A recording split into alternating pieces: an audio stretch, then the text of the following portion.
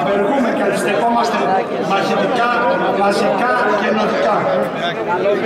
Στεκόμαστε απέναντι στη συνέχιση των κυβερνητικών και μνημονιακών πολιτικών που συντρίβουν τη ζωή των εργαζόμενων, των συνταξιούχων, των ανέργων και των νέων μέσα τις πολιτικές της ύφεσης, της λιτότητας, της ανεργίας, της μείωσης των μισθών, της απόλυτης εργοδοτικής ευελιξίας. Απεργούμε και διεκδικούμε την ανατροπή των μνημονιακών νεοφιλελεύθερων πολιτικών, να σταματήσει το ξεπούλημα της δημόσιας περιουσίας και να μην προχωρήσει η ιδιωτικοποίηση της ΔΕΗ, της Εθνικής Ασφαλιστικής και όλων των εταιριών του υπερταμείου.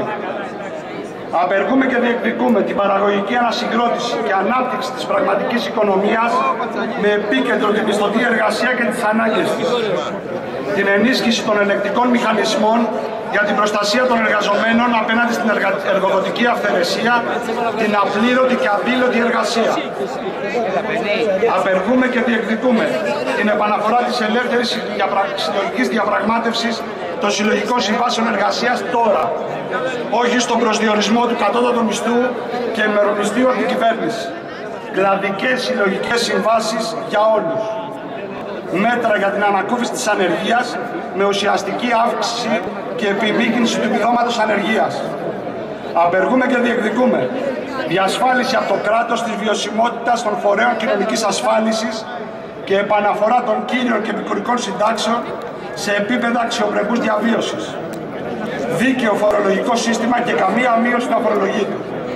Αποτελεσματική προστασία της πρώτης κατοικίας. Και φυσικά ποτέ δουλειά την Κυριακή. Τα συνδικάτα επίσης πρέπει να είναι έτοιμα να προστατεύσουν τους εργαζόμενους από το κίνδυνο αναβίωσης επικίνδυνων ρατσιστικών και φασιστικών αντιλήψεων και να αντιπαλεύουν πάντα τα επικίνδυνα ιδεολογήματα που γεννάνε μίσος και βία.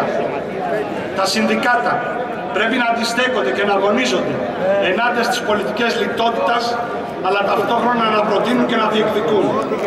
Η φετινή Πρωτομαγιά είναι ευκαιρία να θυμηθούμε πως οι εργαζόμενοι και τα λαϊκά στρώματα ό,τι κέρδισαν το κατόρθωσαν δίνοντας ενωμένοι σκληρούς αγώνες.